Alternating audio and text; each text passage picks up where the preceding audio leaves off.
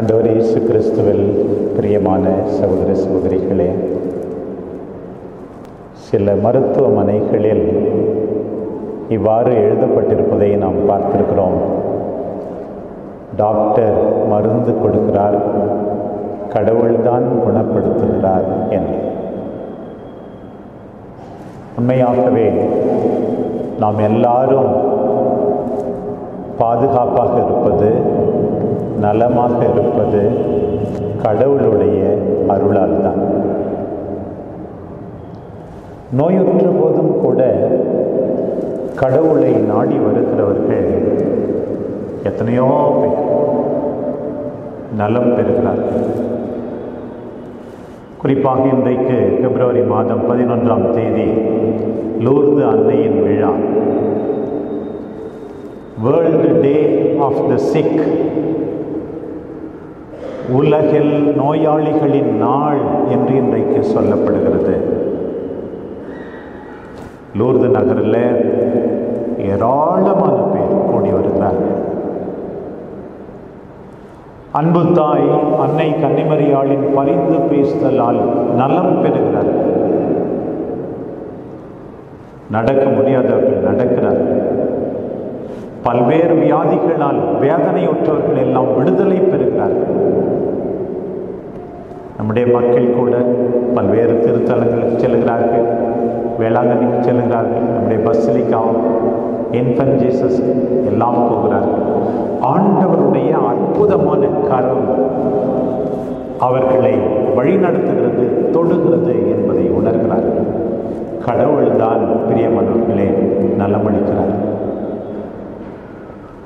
Malcolm மகரேஜ் என்ற பிபிசியனுடைய broadcaster அவர் சொல்லுவார் Lourdes நகரில் எத்தனை பேர் வருகிறார்களோ அத்தனை புதுமை என்று சொல்லுவார். பத்து லட்சம் பேர் வந்தால் பத்து லட்சம் புதுமை. எதற்காக சொல்கிறார் என்றால் எவ்வளோ பேர் உடல் நலம் இல்லாமல் போகிறார்கள் அது வேறு விஷயம். மன அமைதியின்றி மன நோயால் உள்ளத்தில் வேதனையால் கஷ்டப்பட்டு கொண்டிருக்கிற எத்தனையோ பேர் இருக்கிறார்களே அவர்கள் எல்லாருக்கும் ஆண்டவர் நலமளிக்கிறார் என்று சொல்லுவார் அன்பு தாய் அன்னை கன்னிமரியாளின் பறிந்து பேசுதலால் நலம் பெறுகிறார்கள் என்று சொல்லுவார். உடல் நோய் நீங்கினால் மட்டும் போதாது மனநோய் நீங்க வேண்டும். நம்முடைய உள்ளத்திலே அன்பு பெருக வேண்டும் சமாதானம் இருக்க வேண்டும் உண்மையான சந்தோஷம் இருக்க வேண்டும்.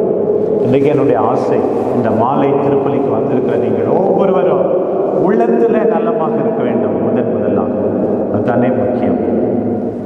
மன அமைதி வேண்டும் சந்தோஷம் வேண்டும் பிரியமானவர் ஆண்டவர் தர வல்லவர். இன்றைய நற்செய்தி பகுதியில் பார்க்கிறோம். ஒரு தொழுநோயாளர் a leper comes to Jesus ஆண்டவரிடம் வருகிறார். அந்த தொழுநோய் எவ்வளவு கொடூரமான நோய் என்று இன்றைய முதல் வாசகத்திலே சித்தரிக்கப்பட்டுள்ளது. நாம் கேள்விப்பட்டோம். அவர் ஆலயத்தை விட்டு வெளியே இருக்க வேண்டும். தனிமைப்படுத்தப்பட்டிருக்கிறார். பாருங்கள் மனைவியிடமிருந்து பிள்ளைகளிடமிருந்து தனிமைப்படுத்தப்பட்டிருக்கிறார். பாருங்கள் அவர் கிழிந்த உடையை அணிந்து கொள்ள வேண்டும். தலை வாரக்கூடாது. தீட்டு தீட்டு என அவர் கத்திக்கொண்டே ஓட வேண்டும். பாருங்கள் தனிமைப்படுத்தப்படுவது ஒதுக்கப்படுவது ஓரங்கட்டப்படுவது உடலிலே படுகின்ற வேதனை ஒரு பக்கம் மனத்திலே படுகின்ற படுகின்ற வேதனை இன்னொரு பக்கம். அந்த மனிதருடைய வேதனையை நினைத்து பாருங்கள். அப்படிப்பட்டவர் தான் எனக்கு வேறு வழியே இல்லை என்று உணர்ந்தவர் தான் ஆண்டவரிடம் வந்து முழந்தாளிட்டாராம் தன்னையே தாழ்த்தி கொள்ளுங்கள். பிரியமானவர்களே ஆண்டவரிடம் உங்களையே தாழ்த்தி கொள்ளுங்கள். முழந்தாளிடுங்கள் ஆண்டவரை நான் ஒன்றும் இல்லாமல் என்று உணருங்கள். நீ நோயாளி கடவுள் தான் காப்பாற்ற முடியும் என்பதை நீ உணர்ந்து விட்டால் நிச்சயமாக உன்னுடைய வாழ்க்கையில் மகிழ்ச்சி பிறக்கும். அந்த ஜெபத்தை பாருங்கள். ஜெஸ்ஸமனி தோட்டத்தில் ஆண்டவர் இயேசு ஜெபித்த மாதிரி இருக்கிறது அந்த ஜெபம். தந்தையே கூடுமானால் இந்த துன்பக்கல்லம் அகலட்டும் ஆயினும்.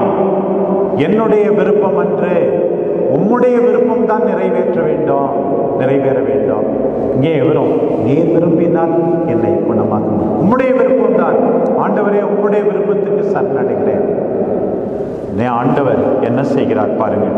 அவர் மீது பரிவு கொண்டு கையை நீட்டி அவரை தொட்டு பார்.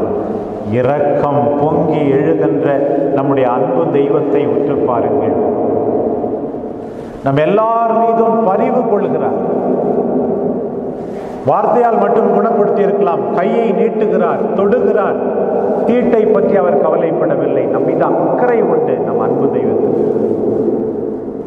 அவனை ஏற்றுக்கொள்கிறார் மதிக்கிறார் காப்பாற்றுகிறார்.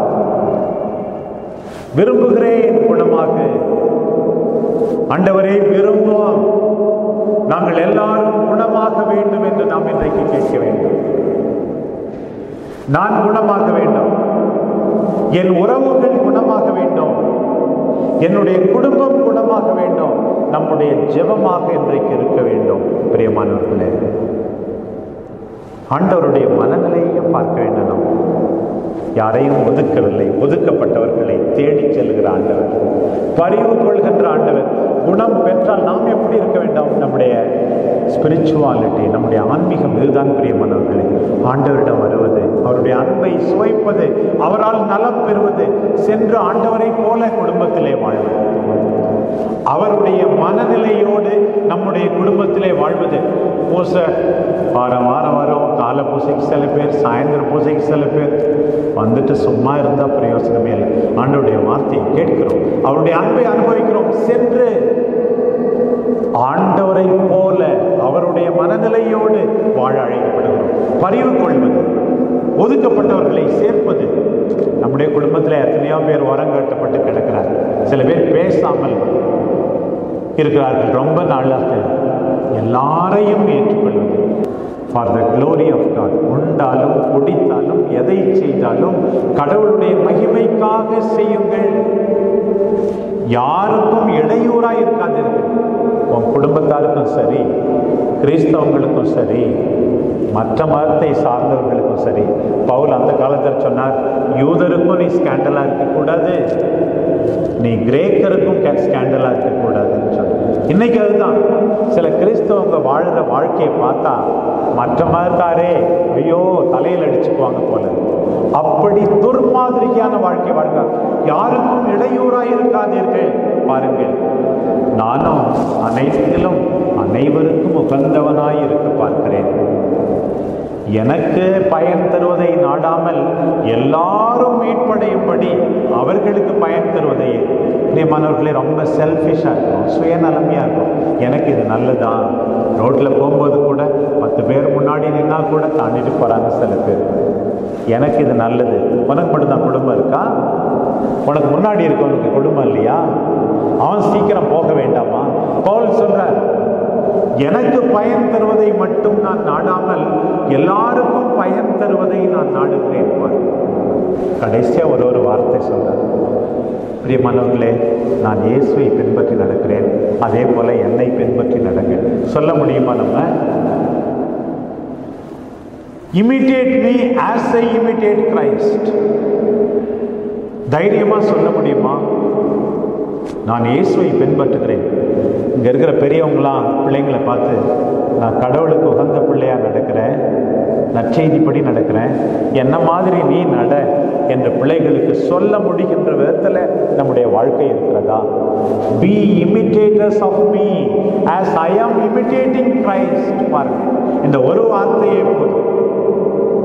எப்போ இது முடியும்? ஆண்டவரிடம் வருவது அவருடைய வார்த்தையை கேட்பது அவருடைய அன்பால் தொடப்படுவது அவரால் நலம் பெறுவது சென்று ஆண்டவர் கற்பித்தவாறு வாழ்வது. நான் இயேசுவை பின்பற்றுவது போல நீங்களும் என்னை பின்பற்றுங்கள். எவ்வளோ அற்புதமான இறைவாக்கு இன்றைக்கு. தவக்காலத்தை தொடங்க போகிறோம். உண்மையாகவே ஒவ்வொரு திருப்பலியும் ஒவ்வொரு மறையுறையும் நம்முடைய மனத்தில் ஒரு புரட்சியை உண்டு பண்ண வேண்டும். நாம் எல்லாரும் புது வாழ்வு வாழ வேண்டும் என்று ஆசிப்போம். ஆமென்.